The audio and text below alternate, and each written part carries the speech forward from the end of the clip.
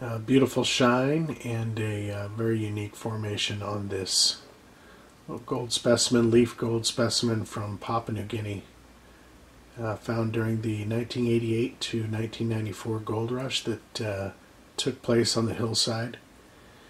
And uh, about 10,000 prospectors flocked to the uh, hillside to find gold. You can see this specimen along with many others from Papua New Guinea on our website www.goldnuggetsforsale.com and our other website www.goldnuggetsales.com.